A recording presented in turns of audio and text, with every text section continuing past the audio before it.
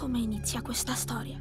Con un ragazzo troppo grande per essere un bambino, Verrai a vivere con me per ora. E non toccare niente. troppo giovane per essere un uomo. Io non ti vedo più. Io so tutto di te, conosco i tuoi sogni e i tuoi segreti più nascosti. Mi dispiace per tutto questo, ma dovrai essere molto coraggioso. Quell'albero è strabiliante. È qui da migliaia di anni. Ho paura. Certo che hai paura, però ce la farai. Perché è per questo che mi hai chiamato.